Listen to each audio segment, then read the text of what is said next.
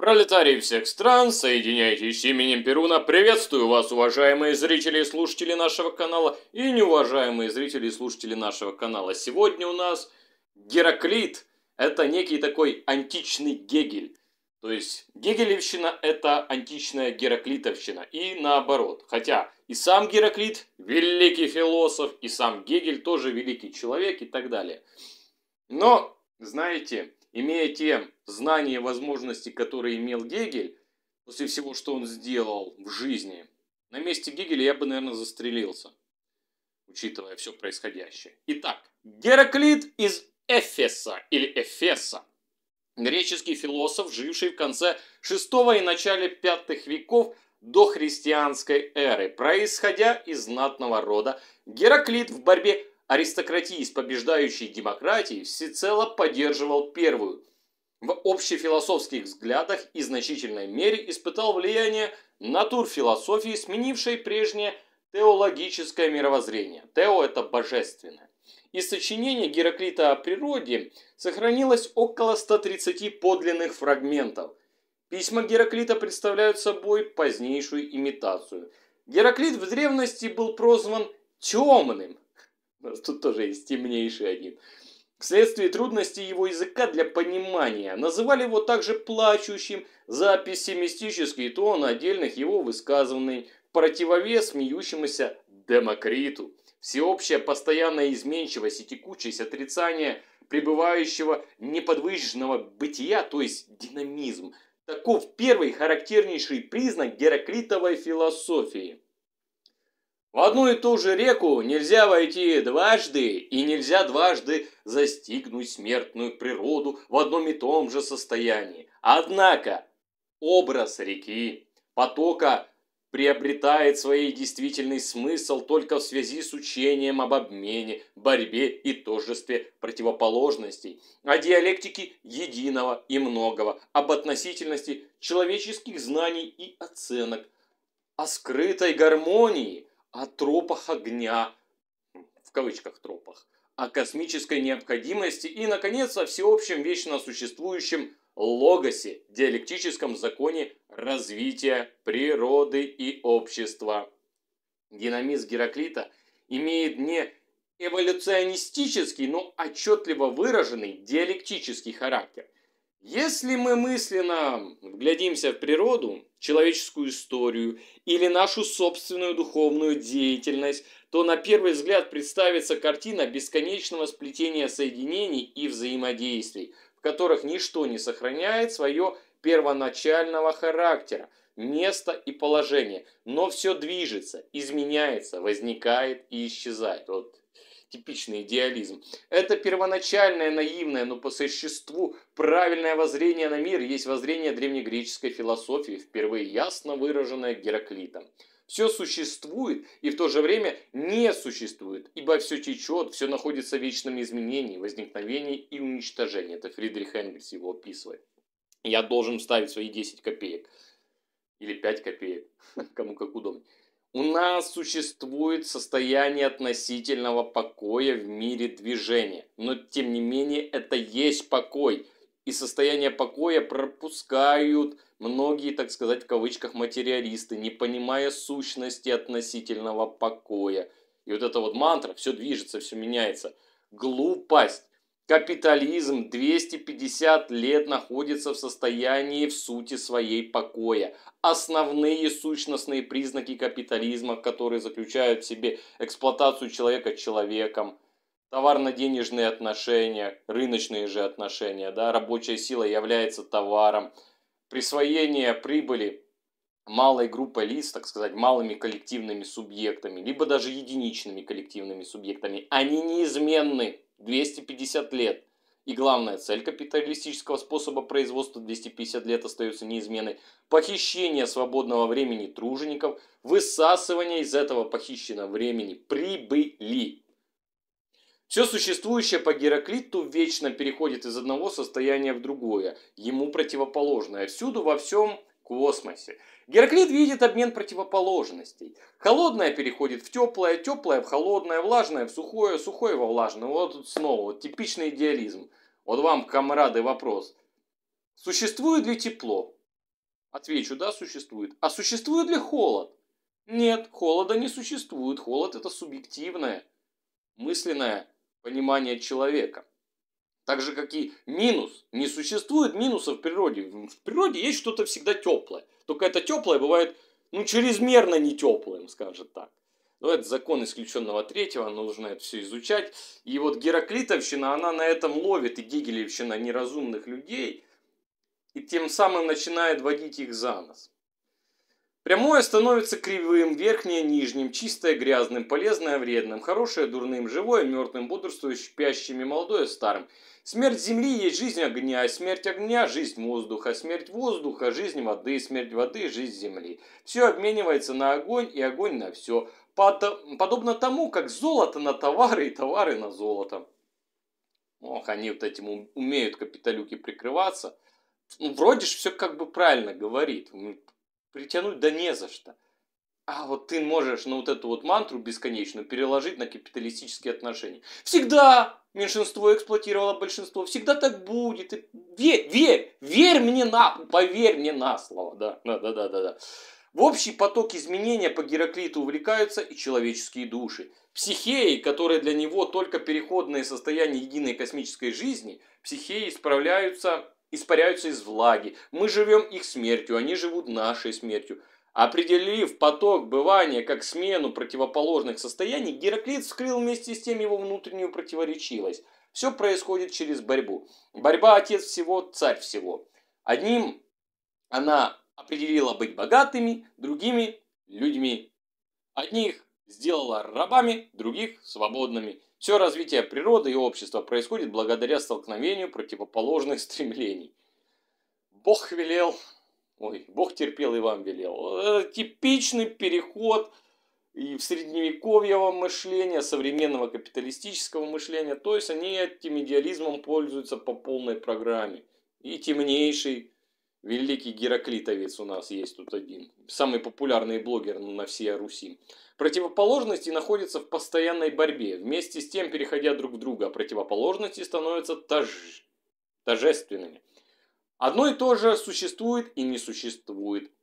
В одни и те же воды мы входим и не входим, существует и не существуем. Мы живем и одновременно умираем. В этом состоит наша жизнь, а также и смерть. Противоположности отождествляются как переходные состояния единого процесса. Движение и покой лишаются значения абстрактных противоположностей. Космический поток, изменяя спокойство в, округ, в окружности начала и конец совпадают. Гераклитово тожество противоположности, оно динамично, дано в движении, которое наряду с борьбой характеризуется и скрытой гармонией как противоположностью борьбы, а затем с тем ее результатом.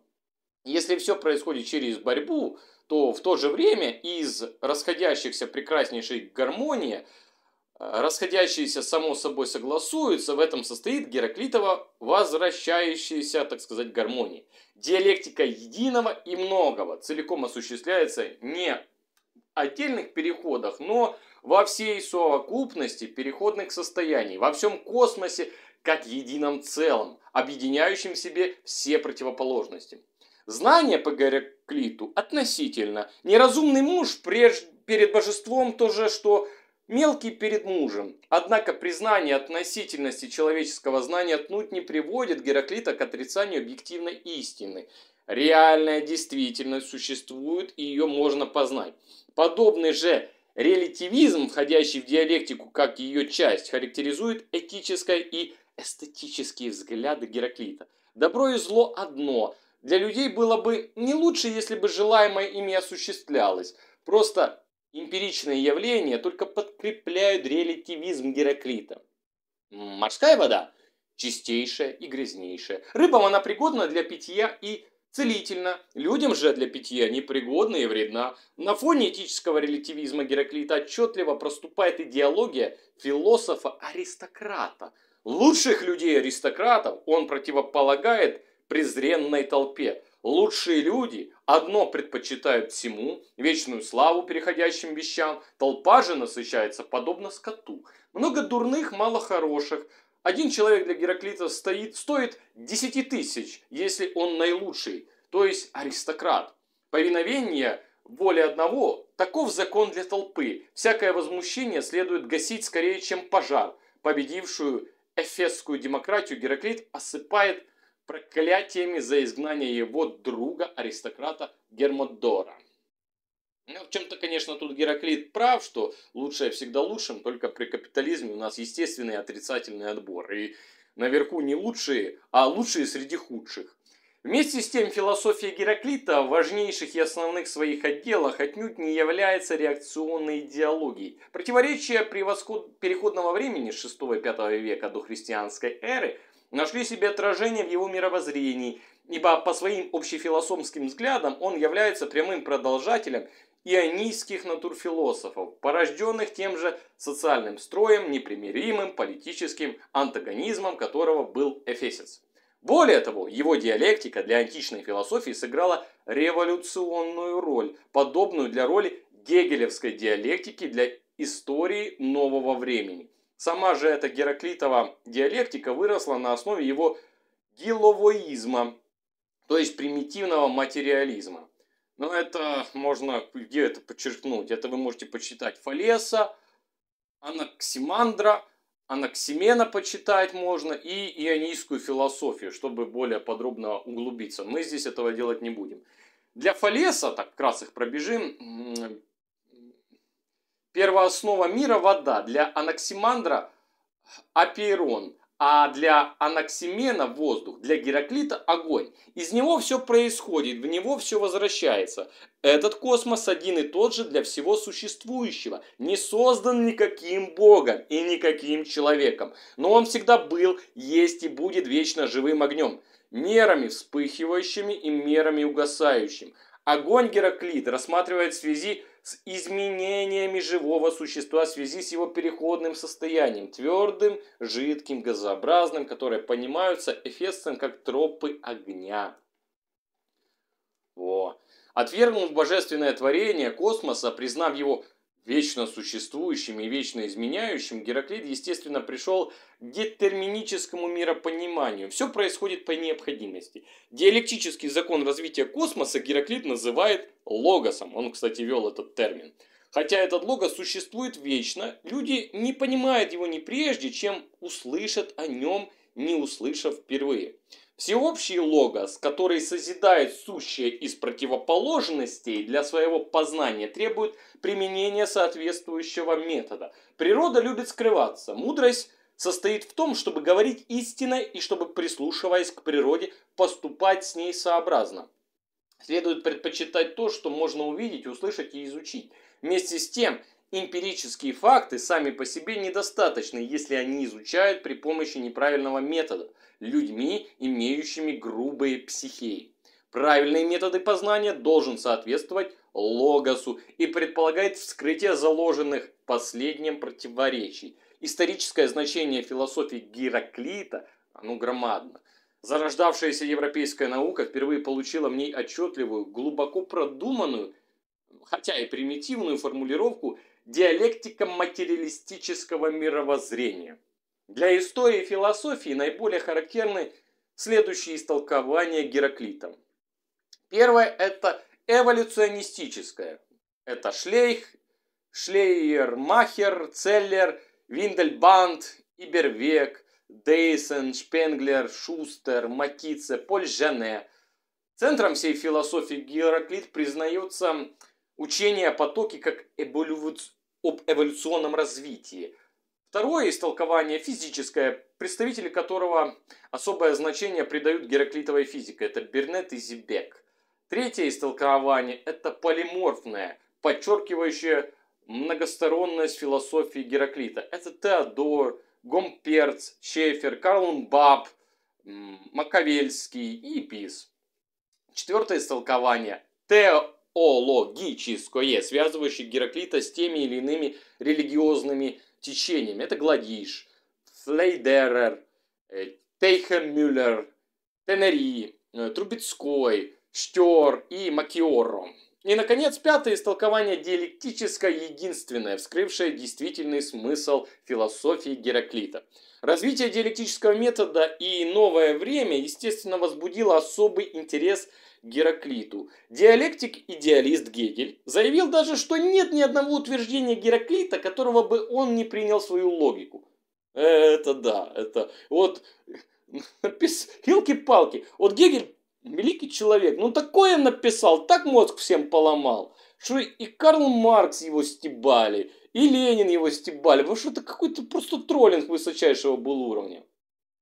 Фасаль, э, извините, не Фасаль, а Лассаль поставил Гераклита, э, большую, посвятил Гераклиту большую двухтомную монографию, правильно выявив диалектический характер мировоззрения Гераклита. Лассаль в то же время ошибочно истолковывает его взгляды в духе гегельского объективного реидеализма.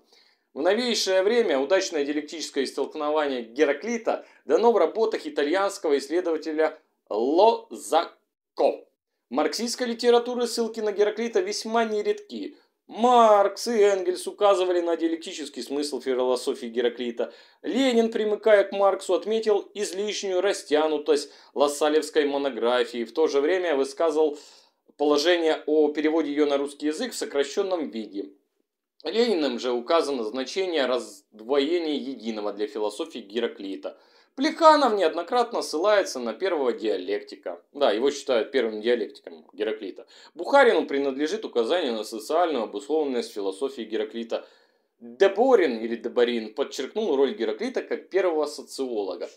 То есть, да, Гераклит фигура невероятно большая. Кто-то считает, что диалектику основал Сократ, кто-то считает, что Платон, но массы тоже, так сказать, в научной и философской мысли, они сводятся, что все-таки, скорее всего, это был Гераклит. Вот, на этом я заканчиваю. Сила в пролетарской правде.